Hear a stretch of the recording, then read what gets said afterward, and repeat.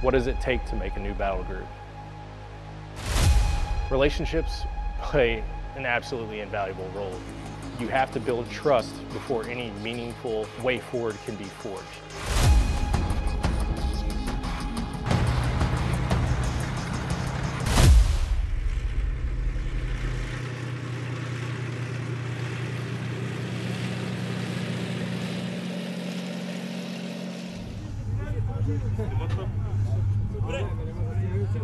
straight IR, and then you can do a hybrid. Yeah. However is well.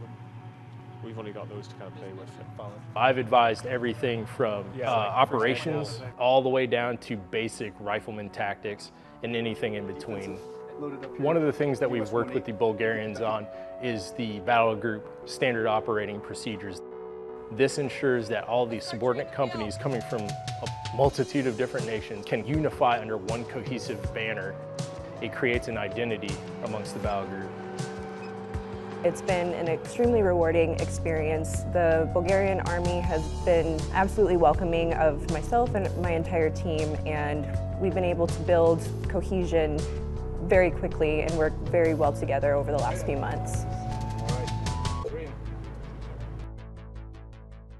Както е известно, географски България се намира от другата страна на Черно море, т.е. е изключително близо до конфликта в Украина.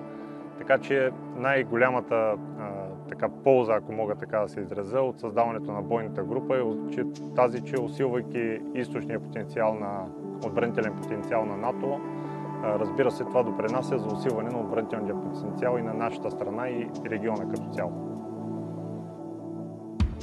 We all know what each other wants, and once we build that rapport and, and that trust with each other, we don't need to speak the same language. We don't need to have the same background or do things the same way because at the end of the day, we're working together to achieve that desired goal.